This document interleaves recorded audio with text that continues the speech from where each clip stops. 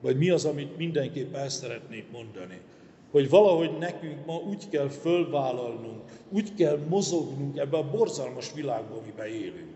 Hiszen most megint egy olyan világ felé megyünk, ahol nem tudjuk, hogy mit hoz a holnap.